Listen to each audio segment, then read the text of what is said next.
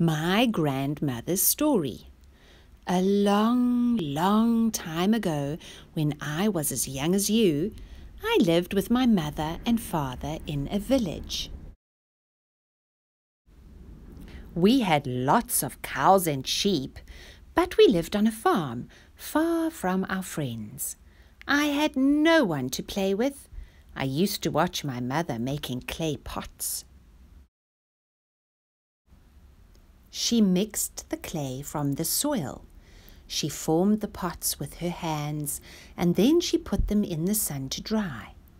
Then one day she let me make my own pot. I formed the pot carefully and turned it round and round. I was so excited to make my very own clay pot. I put it out in the sun to dry. That night, while I was asleep, it began to rain. When I woke up, I could not find my pot.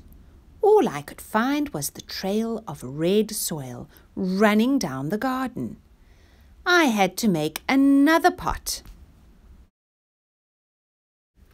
I practiced and practiced it was then that I learned to make beautiful pots. Everyone admires my beautiful pots. Practice makes perfect. Did you enjoy the story? Why don't you try and answer these questions? What special craft did the little girl in the story learn how to do? What have you learned from your grandmother or another special member of your family? Did you also have to practice to get it right? Why don't you also make a special pot using this salt dough recipe? Salt dough recipe.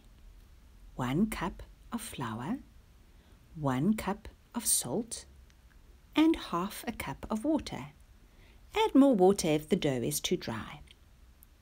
Mix all three ingredients together. Mold into a pot or another creation. Creations can be baked hard in the oven.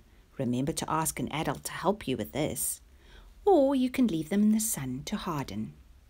Have fun!